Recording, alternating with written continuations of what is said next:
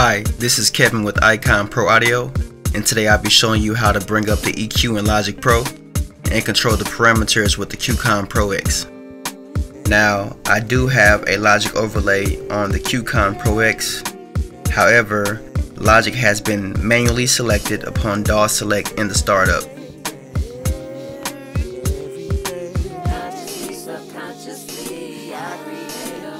The QCon Pro X is a touch sensitive motorized control surface.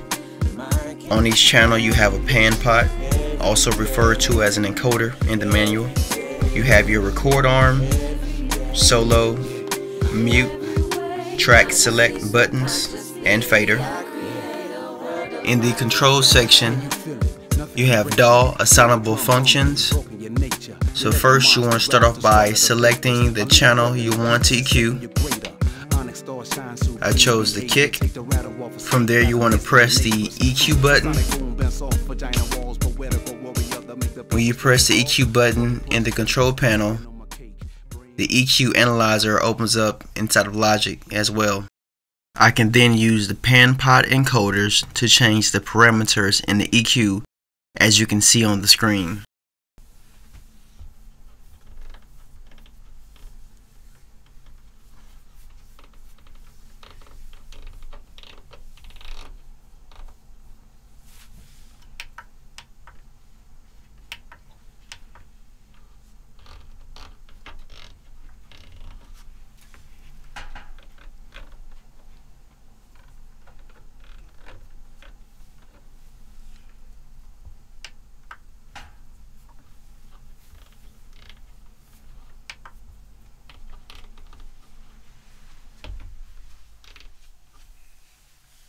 Now I'm going to give you an example of how you can use the QCon Pro X to control the EQ parameters in Logic.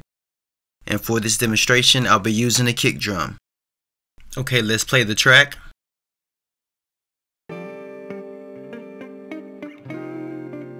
So first I'm going to select the kick track.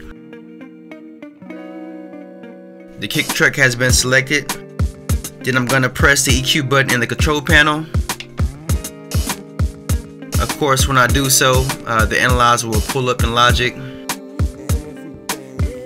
So let's start off with the the high pass filter. I'm gonna engage it, turn it on. Once I have it on, I'm gonna roll off some of the low end.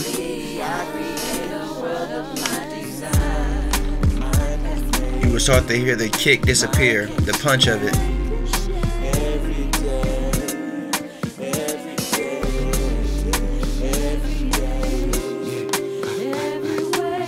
And I'm going to turn it on and off. Can you feel it? Nothing can break you. Mother drum hum evoking your nature. You let the monster Now that it's back on, I'm going to reset it by just pressing in the pan pot encoder. So once I press the frequency pan pot encoder, you can now see on the analyzer in Logic that the high pass filter has reset to 20 hertz. Now let's move on to the high pass filter shelf.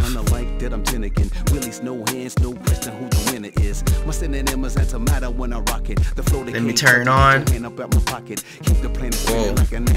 It's a big kick now. A little too much for this song, but just trying to give you an example. I can mess with the Q. I can turn on and off. I can reset uh, the gain like it's pressing in the encoder. Now it's back at 0 dB. Let's move forward. Now we're going to go to the um, parametric bell filter. Turn on peak 4. Whoa. You can hear a little bit of the top end now top of the kick, so now I'm gonna just play around with the encoders, get different sounds. Okay, let's reset that by just pressing the encoder down. Alright.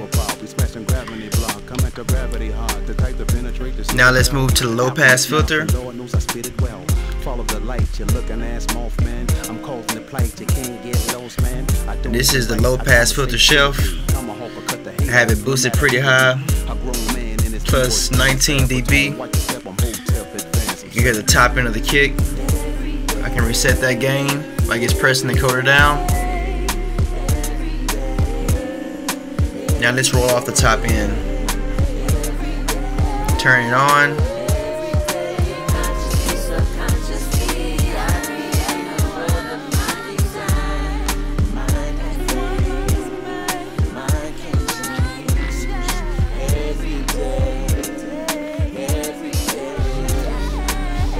Now you hear the oomph of the kick, but not much attack. I can reset that again. Now let's do something more drastic. Let's solo the kick.